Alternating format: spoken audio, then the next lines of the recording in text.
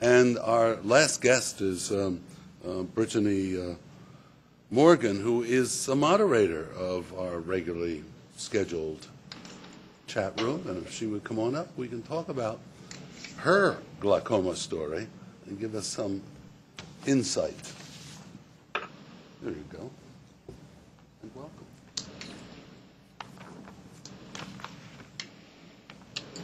Hi, everyone. My name is Brittany Morgan, and I'm here to share with you my own experiences with glaucoma. So, my glaucoma story is a little different than most. Um, I was actually born with a cataract in my left eye, and at birth, the doctors actually missed the cataract. And so, about 12 days later, my parents took me to the doctor because I had developed a minor skin infection on my neck. And they didn't think anything of it. They just expected the doctors to give us some cream and we'd be on our way. However, the doctors decided to perform a full baby checkup on me. And it was at this time that they found the cataract. the next day, my cataract was removed from my left eye, and with it, the natural lens that everyone is born with was removed. An artificial soft lens was placed in my eye instead. The surgery was a really great success. One negative implication from the surgery, though, was irregular uh, pupil misshaping, which I still have today, but it's a small price to pay in the grand scheme of things.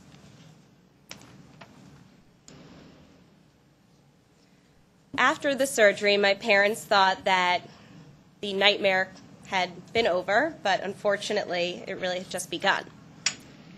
Patching happened next.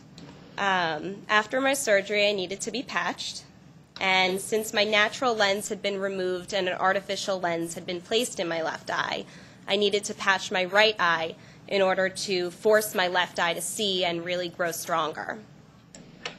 I had to be patched for nine years, four hours a day, which sounds like a very long time, which it was. It was very hard on my parents, especially. As an infant, I never wanted to wear an eye patch. It was uncomfortable and irritating. I would often cry and kick and scream and always want to take the patch off. My parents had to constantly watch me and make sure that I didn't take the patch off.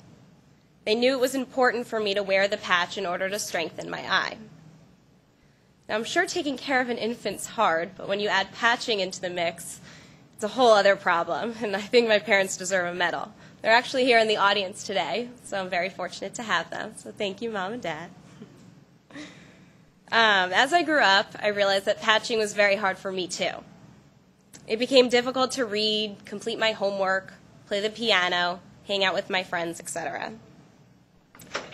Although the patching did strengthen the vision in my eye, I still have very little binocularity today. But I'm sure that I would have had less binocularity today if it had not been for the patching.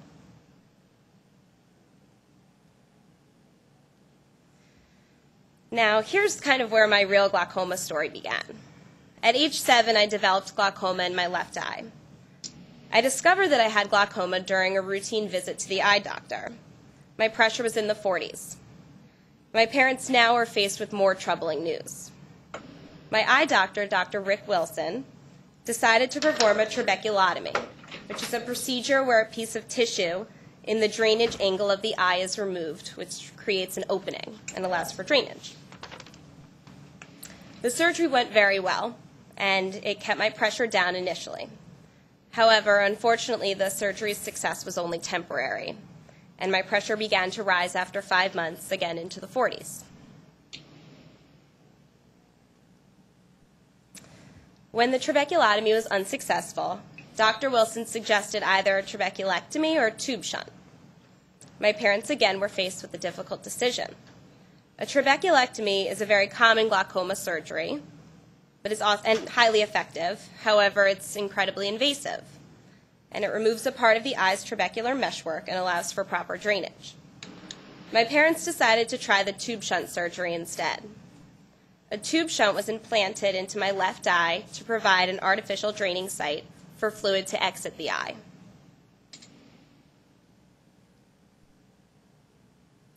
There are many risks associated with this procedure, such as bleeding, infection, loss of vision, and even blindness. The surgery was incredibly successful, though. The tube shunt brought my pressure down, and it stayed down this time permanently. After the surgery, though, I had a thick black stitch across my eye. Oftentimes, people would approach me and tell me that I had a thick eyelash in my eye and would ask me if it hurt or if I wanted help to take it out. I'd quickly laugh it off and say that no, it was a result of a surgery. A few years later, I had the stitch removed. After the surgery, I took two to three different drops about twice a day to keep my pressure low and to ward off infection.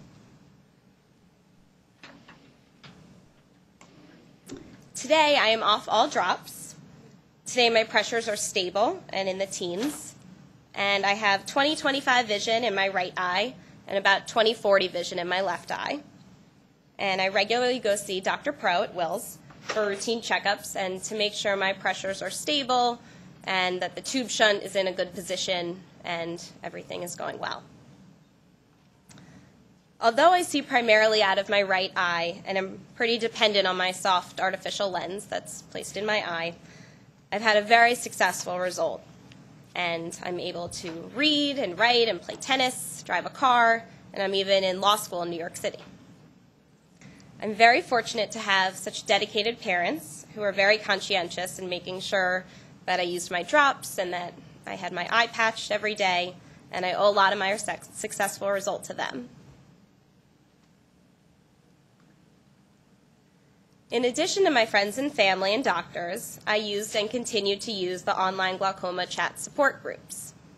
In 2006, I joined Vivian Werner in hosting and moderating several online chat sessions, and Vivian's in the audience today as well, and you'll be hearing from her at 2 o'clock. I wanted to share my story and experiences with those who were facing something similar to what I went through. I wanted to share all of the challenges and the hardships that my parents and I had to overcome and the successful results that I've had today. I also wanted to increase greater awareness of this disease and encourage more people to get their pressures checked pretty regularly, since this disease is often known as a silent killer when it kind of comes at you without many symptoms.